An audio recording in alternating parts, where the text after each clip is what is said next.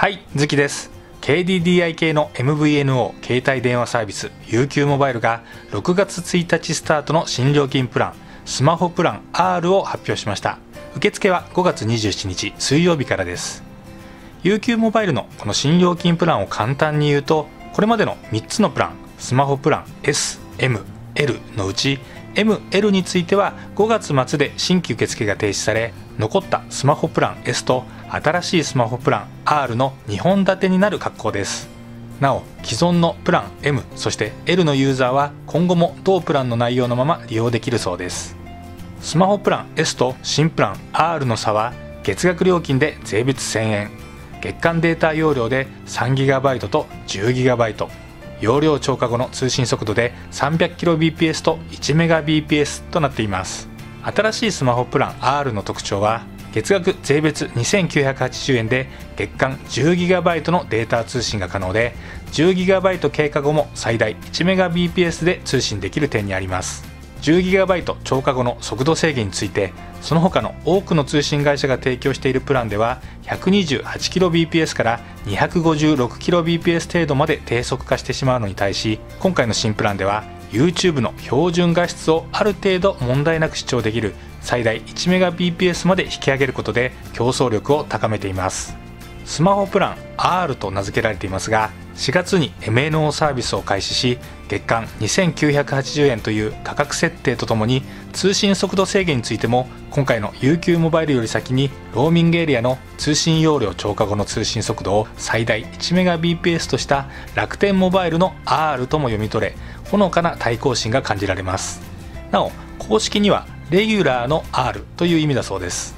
各プランとも通話オプションとして3つ用意されていて月額1700円で24時間いつでも通話定額。月額700円で1回10分までの通話定額。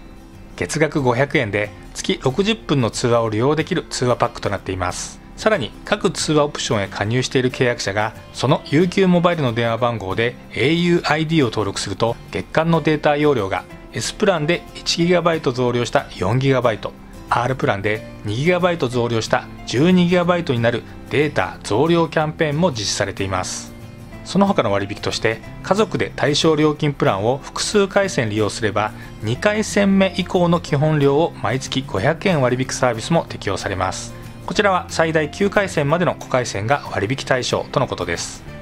対抗と目される楽天モバイル MNO と比較してみると同じ月2980円でこちらは使い放題というアドバンテージがあり自社エリア内では無制限にデータ通信できますがその自社エリアはまだまだ狭いのが現状です。楽天モバイルの三木谷社長は来年2021年3月末までに人口カバー率70%を目指すとしてはいるもののそのエリアの広がりも東名阪の都心部にほぼ限定されているのが現状です。超過後の通信速度はともに 1Mbps となっていますが楽天アンリミットについては自社エリア外で利用できる au エリアの利用は月 5GB までで au エリアに限ってみれば UQ モバイルの半分ということになります。こうした楽天モバイルの制約に対し UQ モバイルはエリアに関係なく全国で月 10GB まで高速通信できるという点をアピールしています。また iPhone に正式対応しているという点も大きなアドバンテージと言えます。これまで私の方でもいくつかの iPhone で検証してきましたが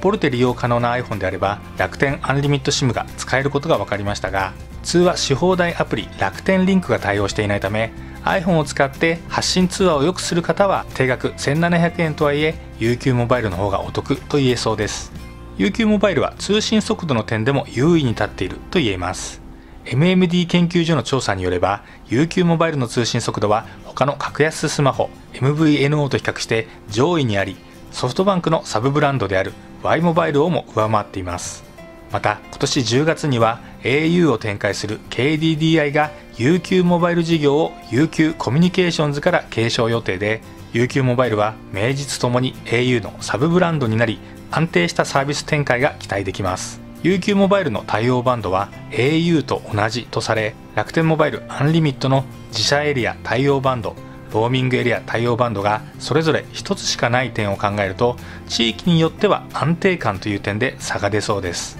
現時点では1年間無料で利用できる楽天モバイルに分があると感じますが課金がスタートした時点で利用者が主にどのエリアで利用するかによりサービスの優劣が分かれそうです。なお UQ モバイルは今回の発表に合わせ夏スマホとしてアクオスセンス3ベーシック OPPO Reno3A Galaxy A41 の3機種を発表しています。いずれも価格を抑えたコスパスマートフォンとみられ積極的にスマホエントリー層の取り込みを狙っていることが分かります。3端末を個別に見ていくとアクオスセンス3ベーシックは 4000mAh のバッテリーを搭載し省エネ性能に優れた約5.5インチ育像ディスプレイを搭載しています。約1200万画素のシングルカメラでは撮りたいものにカメラを向けると被写体やシーンを検知し被写体に合わせた撮影モードを自動的に設定してくれたり動画を撮影すると笑顔の場面などを抜き出し約15秒の BGM 付きショートムービーを自動作成する機能も用意されています。IP6568 等級の防塵防水性能を持ちますがお得意のお財布携帯やテレビ機能は非対応となっています。サイズは高さ約 147mm 幅約 70mm 厚み 8.9mm 重さは約 167g OS は Android 9チップセットにスナップドラゴン630メモリとして RAM は 3GB ストレージは 32GB 外部ストレージとして最大 512GB のマイクロ SD カードが利用できます。発売は6月中旬頃の予定で現時点で価格は未定となっています。機能を最低限に絞った超ライト層向け端末ですがイグゾーディスプレイと大容量バッテリーの組み合わせで長く使えることが特徴のスマートフォンと言えそうです。2機種目は OPPO Reno3A で4800万画素のメインカメラ超広角の800万画素カメラモノクロの200万画素カメラポートレート用の200万画素カメラという4つのカメラを搭載する Android スマートフォンです。サイズは高さ約 160.9mm 幅 74.1mm 厚み 8.2mm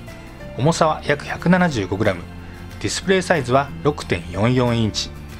4025mAh バッテリーに加え急速充電規格クイックチャージ2.0に対応しています。OS は Android 10ベースの ColorOS7.1 チップセットにはスナップドラゴン665オクタコア。6GB の RAM に 128GB のストレージを備え外部ストレージとして最大 256GB のマイクロ SDXC カードが利用できます。IP68 等級の防塵防水性能に対応するほかボルテお財布携帯も利用できます。テレビ機能は備えていないそうです。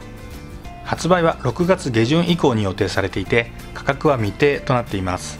人気の OPPO Reno A の後継機というより A52020 のカメラ機能をさらに強化した端末と言えそうです。3端末目 Galaxy A41 は4800万画素のカメラ800万画素のカメラ500万画素のカメラというトリプルカメラ構成のスマートフォンです。4800万画素の広角カメラと約123度の画角で撮影できる800万画素超広角カメラ約500万画素の深度測位カメラに瞬きやレンズの汚れを検知して撮り直しを促すアラート機能も備えます。前面フロントには約2500万画素のカメラを搭載します。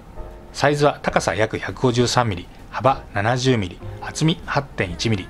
重さは約 160g 6.1インチの有機 EL ディスプレイでは画面内指紋認証が利用可能です。